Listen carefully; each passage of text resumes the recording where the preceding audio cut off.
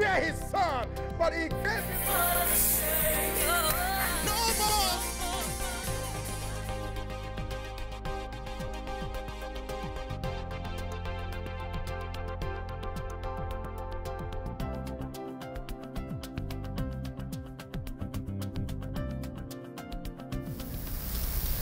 Oh, praise God. First Thessalonians chapter 1. You'll be out of here in about 30 minutes. Don't worry. First Thessalonians chapter 1. Lawrence likes that very much.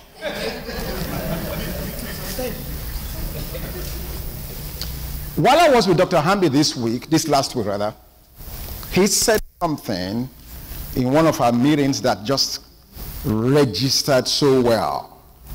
And I'm going to use that to start this message this morning. This morning, I want to speak to us on the other part of the message that we began at Labor Day weekend. On the uh, Labor Day weekend, we spoke about the laboring to get into his rest.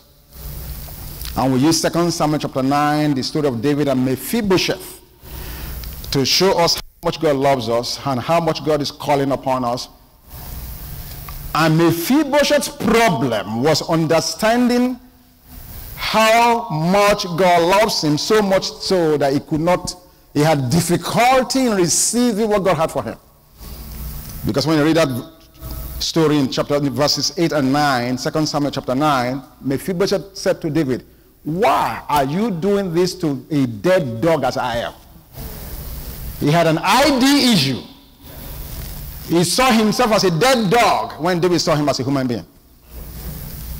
And for many of us, that's the labor in our head that we must enter and resolve in order to take on what God has for us. So this morning, the other side of that message is labor of love.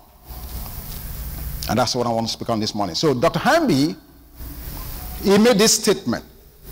He said, the government of grace is dispensed through love. Wow.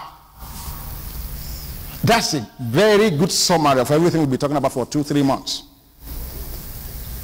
The government of grace is dispensed through love, either through me understanding and receiving God's love for me, and consequently, as a result of that, me being able to minister love to others. That's it.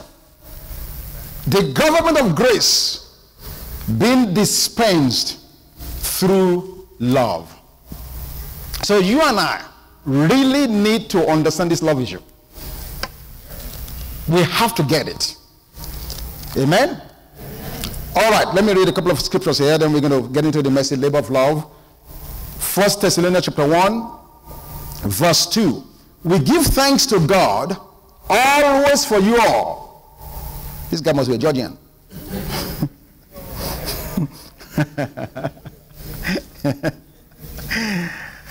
Making mention of you in our prayers, verse 3 is really where I'm going. Remembering without ceasing your work of faith, labor of love, and patience of hope in our Lord Jesus Christ in a sight of our God and Father. Let me read one other passage in chapter 3, same book, chapter 3, in verse 12. First Thessalonians chapter 3, verse 12. And may the Lord make you increase and abound in love to one another and to all, just as we do to you. Now, if you pay careful attention to that passage, the first one we read in chapter 1, verses 2 and 3, it talks about the work of faith, the labor of love, and patience of hope. Three things faith, love, hope. Those three elements can be readily defined as the three dimensions of grace. And it is interesting for me as I began to prepare and study for this message how many times the apostle spoke to the church and repeated this trinity of dimensions together. If you recall in 1 Corinthians chapter 13, in verse 13, he says, Now abided these three faith, love, and hope. He said, But the greatest of these is love. Then again, we go to um, the book of uh, 1 Thessalonians chapter 5, in verse 8.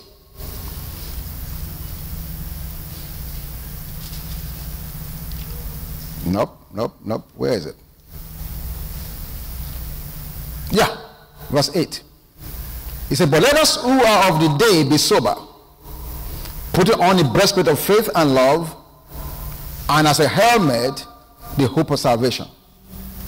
Colossians chapter 1, I don't want to read it, in verse 4 and 5, we see the same thing. So we see these three elements coming together on and on and on faith, love, and hope. Now, let me just say at the outset that it is God that supplies the grace to accomplish all these things we are talking about. In other words, if God does not give the grace, you will never be able to walk in love. Let's just settle that up front. 2 Corinthians chapter 9. 2 Corinthians chapter 9. Thank you, Lord. 2 Corinthians chapter 9. Look at what it says. Verse 8. And God is able to make all grace abound towards you, that you, always having all sufficiency in all things. There is nothing that God is asking you and I to do or be that He is not the one that's supplying the grace to do so. Now, let me go back to this foundation, to these three things, and then, and then we can dive into the message. Faith, love, and hope. Faith deals with the past. Past as in what Jesus has already done. It's accomplished. It is the foundation for everything that you and I will ever be. This faith is active and producing good works. Okay? It is with the past, meaning all the things that Jesus, remember, it is a finished work, it's already done, it's completed already. And it is the foundation. Love, on the other hand, deals with the present process. Mm. While faith is the foundation, love is the structure that builds on that foundation. It manifests itself in acts of kindness towards the human race and particularly toward fellow Christians. It is shown by its toils and self denials. Faith is the foundation, love is the present process that you and I are in. It is, is the structure that's been built on the foundation. It manifests itself in acts of kindness, and it is shown by toils and self denial. Hope, on the other hand, remember, faith is the past, Love is the present. Hope, thank you very much, Marjorie, is the future. If there was no future, we will not need any faith. We will need love. Your faith and love will crash if there's no expectation of a future. It addresses a future that is hope. It is the capstone of these three dimensions. It's that constancy which remains unconquered by trials and persecutions. In other words, when you are being tried, when you are in an affliction, when you are being persecuted, because there's a hope of something better, there's a hope of a deliverance, there's a future in you and for you that speaks of better things than what you are facing in the present tense. Because of all of that, you can hold on. You know that even this shall pass. You understand that God is working something out in you for a better future. There's a hope and there's a future. Oh, just as I'm standing here, I just remember Jacob. In Jacob 42, uh, I said Jacob 42. in Genesis 42, in verse, I think 36, Jacob was in such a dilemma. He said, Joseph is no more. Simeon is no more. And now you are asking me for Benjamin? He said, These things are against me. But now you fast forward to Psalms 148 in verse 8 fire, hail, and snow, stormy wind, fulfilling his word. Oh my God. It's a fact. Joseph is no more. It's a fact. Simeon is no more. It is a fact we are asking for Benjamin. But Jacob, you are looking at it wrongly. You are thinking these facts are working against you. But you need to understand that it's all part of the stormy wind that God is using to fulfill his word in you. There's a hope and a future, even though things don't seem to be working right now. Hallelujah. The labor of love. It is always motivated by commitment, passion, and the pleasure that we have in God. Okay? And it refers to work done without financial compensation. Let me just let's just start breaking it down so we can understand what we're talking about this morning. The first example of parent of uh, I said, the first example of labor of love is so easy to find among us. Parental love. Parental love. The labor of love. I look across this congregation and I see all of you parents. What would you not do for your children? When they cannot pay you for it. You run up and down from one activity to the next over and over and over. Even though you come home at night, you are tired, say, oh man, this children are running me raggedy, you do it again the next day. And you do it again the next week. And then you do it again the next month. On and on and on and on it goes. I know some women who did not work, not because they were not qualified, but they made a quality decision at that time based on their family situation to be at home so they can give better care to their children. You're talking about labor of love? For a long time, she's not here right now, Ronke Balogun. I didn't think she had a, I, I thought she had no qualification. Because she was a stay-at-home mom. And all of a sudden, the kids grew up, she was working. I said, what, you, you, you know how to work? You know, you, you can be employed? But they made a decision that while the kids were young, somebody would pay the price to stay at home. Kamisa Dike is another one.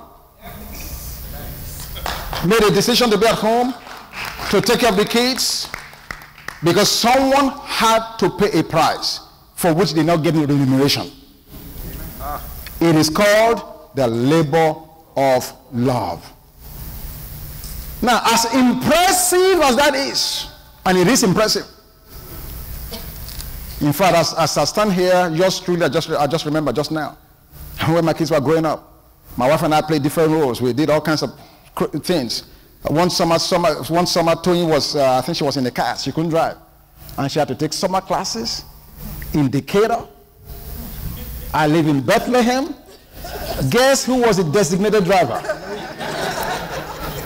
My goodness, every day, back and forth. I mean, I, I take her to school, hang around for two hours because I, I can't come to Bethlehem and go back.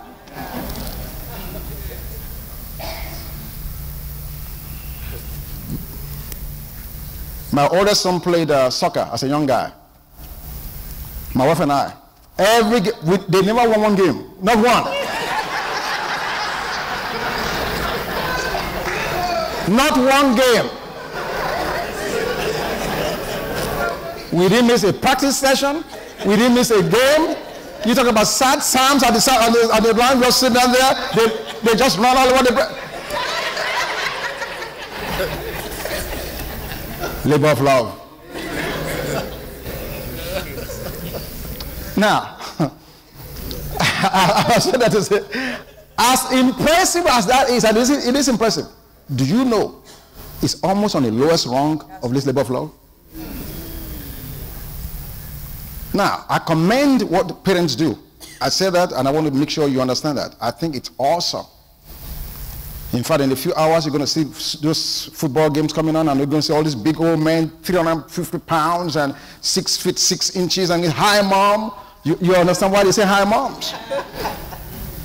because when the fathers were out there working and slaving, it's the mother that took care of them, rubbed, washed their noses, put the food on the table, and all of that stuff, and they remember that more than anything else.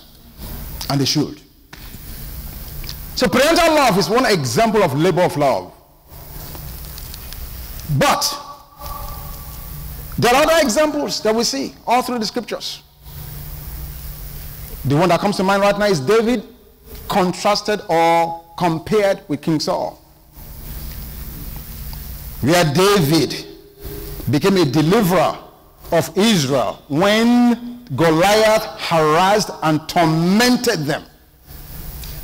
And as a result of that, he found a new overnight fame in Israel.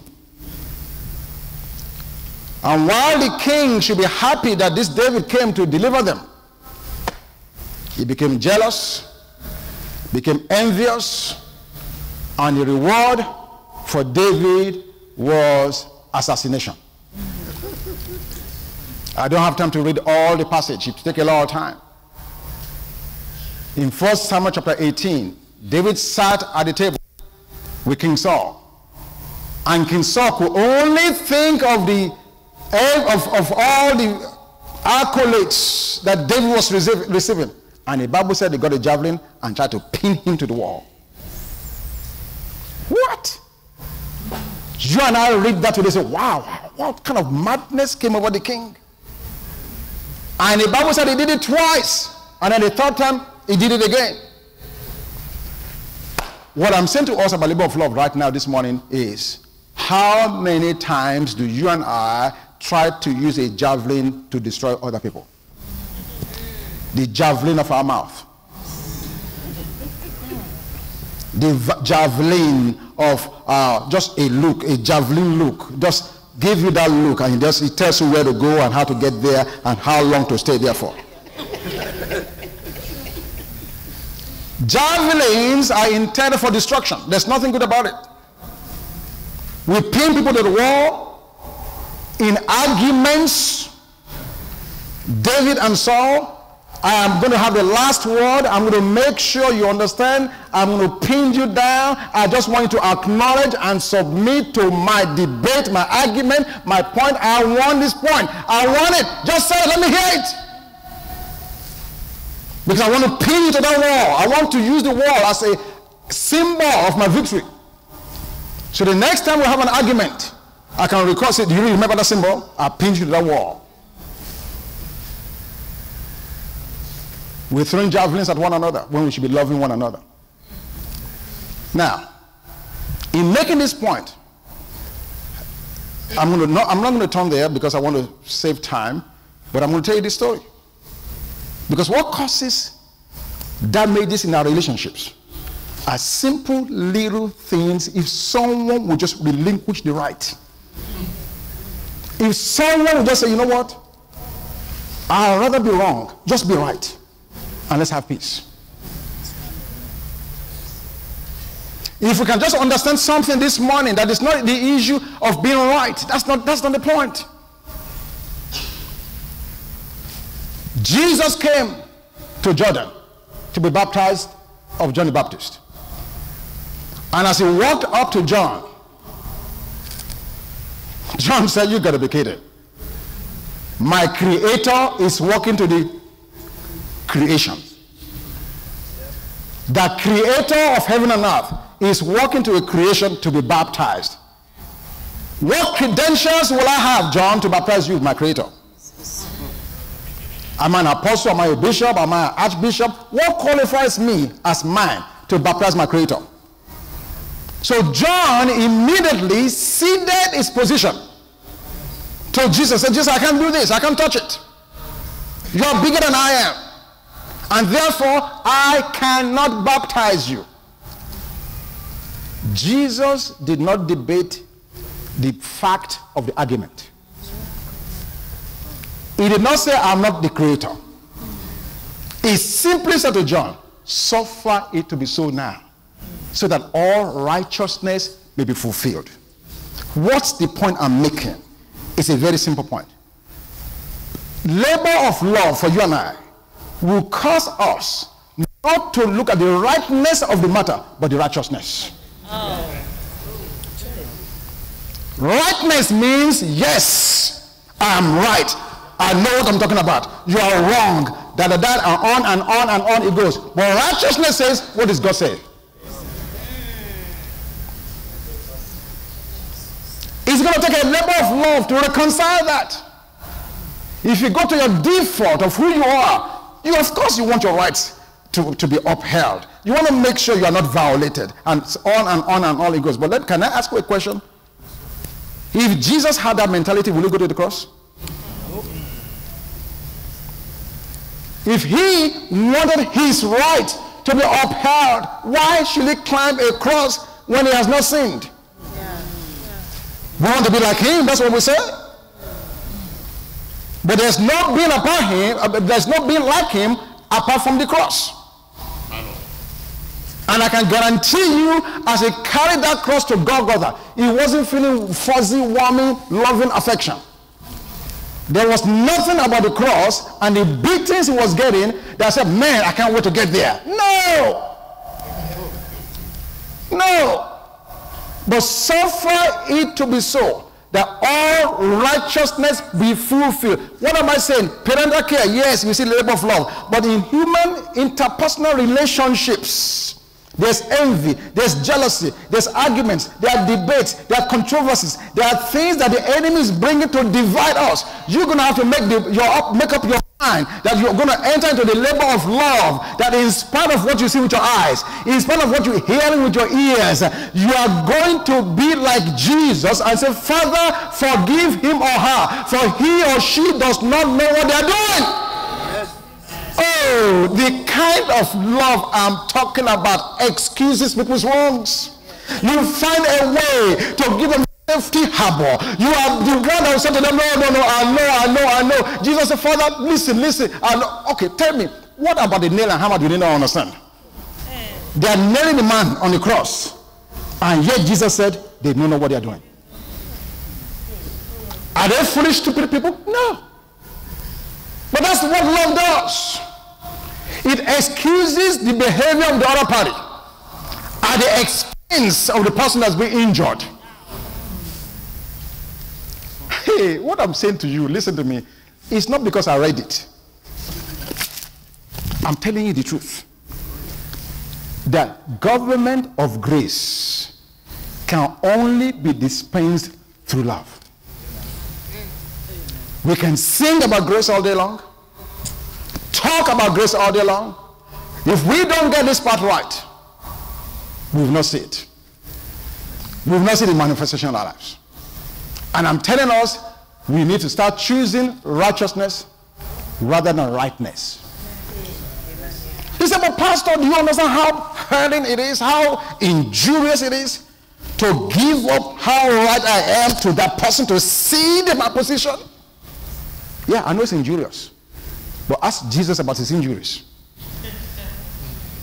Ask him. Let him show you the wounds on his hands and on his side when he was wounded for our transgressions, bruised for our iniquities, and how the price for our peace was laid upon him, that by his stripes we may be healed.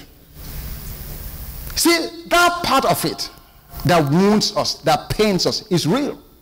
And I'm not sitting down here, I'm not standing up here trying to tell you it's not real. It is real. But you know what? That's how you and I partake of the fellowship of his suffering. We want the power of his resurrection. But we must be ready and willing to be made conformable unto his death. Partaking of the fellowship of his suffering. So in that hour, in that instant, when I'm giving up my right, oh, it's painful. My God, Father God, how can I do this? Come on, I'm right. Can't you see? Can't they see how right I am in this situation? But you give it up. And the pain of that giving up is working something in you to make you more like him. Since that's why you are here. You are here to become like him. So that pain that you experience is temporal, number one. It won't last forever. You think it is, but the truth is it won't last forever. It's working something for your good. That at the end of the day, you're going to see yourself more like him, more unlike the started out. Labor of love. It's all about choices. And God has given you and I that grace to make the right uh, choices. It's quiet here this morning. But hopefully you're going to go home thinking about what I'm telling you. Because it works. Amen. Parental love, we see that, labor of love, making choices to do the right things so that our children can progress. We see this relational love. We see David and, and, and, um, and King Saul. The amazing thing about that whole story, David had the opportunity to avenge Saul's wickedness. Two or three times in that passage, David came upon Saul when he could easily have killed him.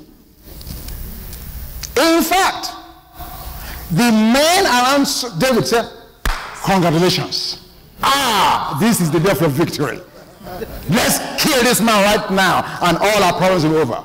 Now, let me say this to you. If you have anybody around you saying things like that to you to make you right and not righteous, get away from them.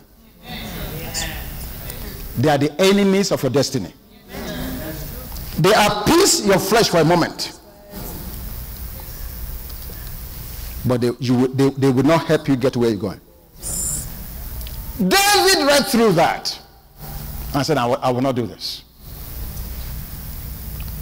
And when you read that passage, David continued to increase in his success and Saul got progressively worse. What life do you want for yourself? What life do you want? You need to make a choice. Was it easy for David going from cave to cave, living in wilderness?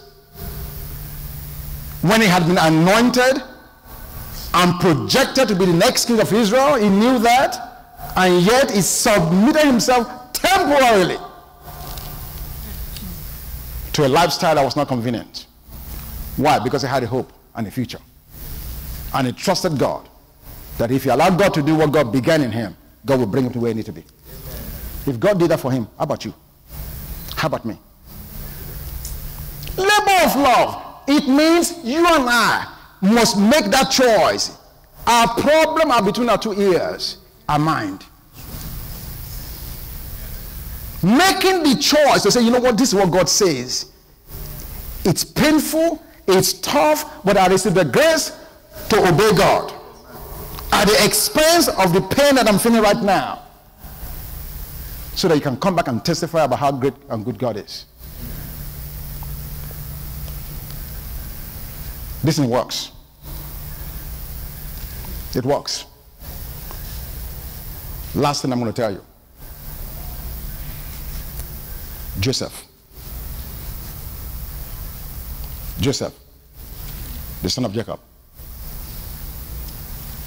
betrayed by his brothers, sold into slavery, got promoted into prison, and then ultimately became the second in command in Egypt. A man that went through those real life issues finally got a chance to see some brothers who did and perpetrated evil.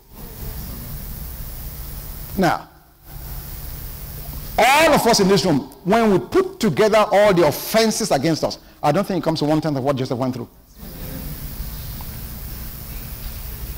But we split ears, break fellowship over things that, that are really so mundane. By the grace of God, when Joseph finally came face to face with those men, I said to them, You didn't do me wrong. Do you see what love does? Oh, you guys missed it. He excused their behavior. He found a reason to excuse them so they don't have to think about that. You guys thought you sold. No, you didn't do it. They collected the money. No, you didn't do it. They butchered that. No, you didn't do it. I know about faith. I know about love. I know about the hope of the future. You didn't do it. God, in fact, sent me ahead. You didn't do it. Would you go home this afternoon and excuse your husband? Aha, it's quiet now. and excuse your wife. And make an excuse for them for the things they've done. Help them know it's not you. You didn't do it. You are better than that.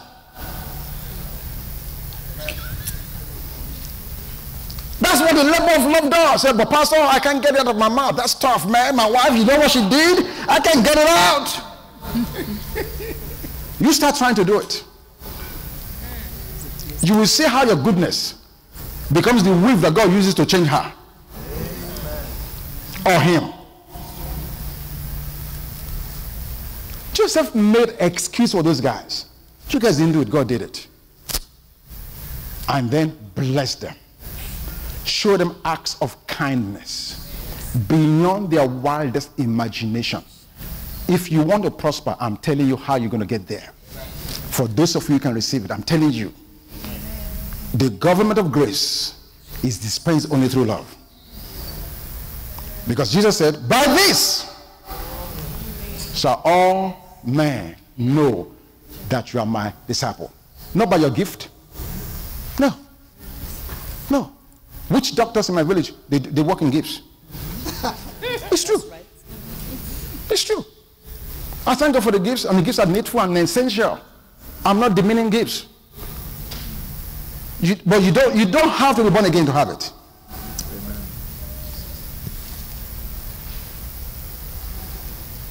Are you hearing what I'm saying to you? The labor of love. The essence of all of it is making the right choices. And the labor there is, is a struggle against your flesh, against your being, to accept the pain and the loss for a moment. The self gratification, you lose it for a minute because you want to be righteous. It's a labor, it's a struggle. But if you take that and begin to use it today, this afternoon, tomorrow, next tomorrow, you're going to begin to see God move in your life in ways you have never imagined. It works. Are you hearing me? It's so simple. I'm done.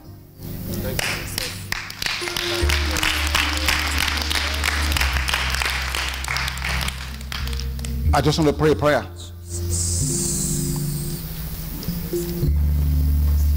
That God's grace over our lives will not be in vain. That the grace of God over our life will find an expression in Jesus' name. And some of us saying, Pastor, you are not in my situation. You don't know what happened. You don't know how it happened. I hear you. And you are right. I'm not in your situation.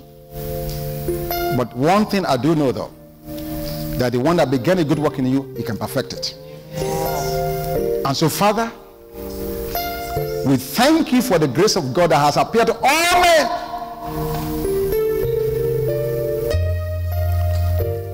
It is you that supply the grace so that we can have all sufficiency in all things so that we, we can have good works. That's your promise. And so, Father God, we ask you this afternoon. Thank you for the manifestation of that grace. Thank you for the performance of your work. Thank you, Lord God, that the love of God that has been shed abroad in our hearts by the Holy Spirit, the Holy Spirit who sealed us on the, until the day of redemption, that that love will find an expression in each one of us. God, that will labor to make the right righteous choices that even though it may look like We're in pain for a moment. After a while, we have a testimony. And so, Father, we are thanking you now. We are thanking you, Lord Jesus, that love will permeate our homes. Love will permeate every surrounding. Love, the love of God to us and from us will permeate everything we touch. So that those around us will know without a shadow of doubt that we belong to you. We receive that now. We bless you for it. We praise your name forever. You are a great God. In Jesus' name.